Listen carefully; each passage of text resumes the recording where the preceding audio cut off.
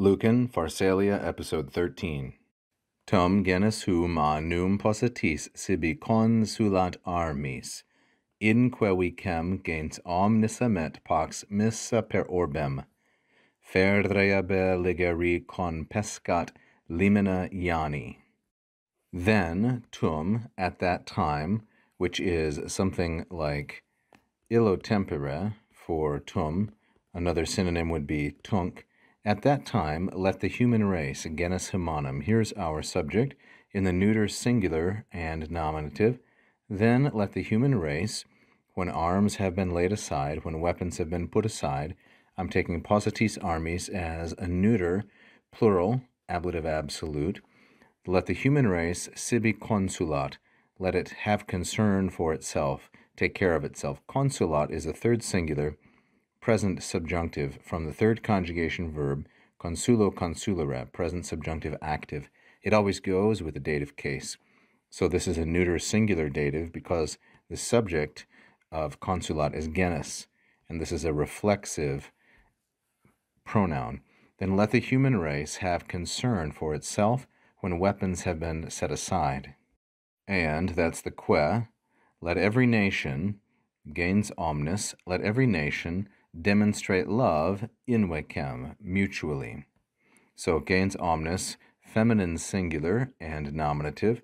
We have then another independent subjunctive like consulat, namely amet, which is a jussive or a command.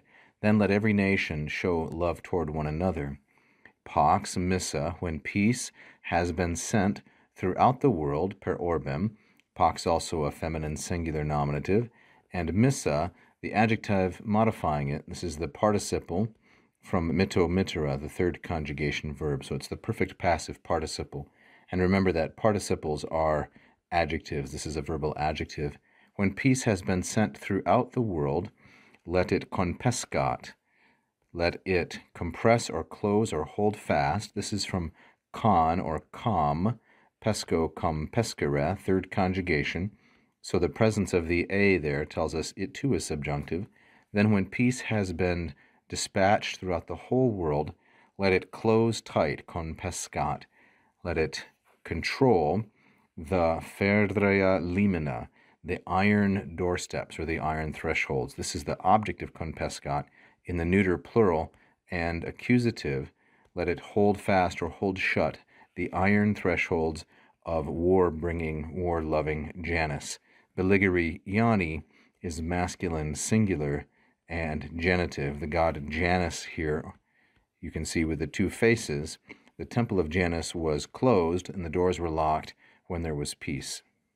We again see interlocking word order, and we could even consider this uh, not quite but nearly a golden line. So we have ferrea, which is the adjective, belligere, another adjective, then we have noun, limina, that's noun, and Iani, the second noun.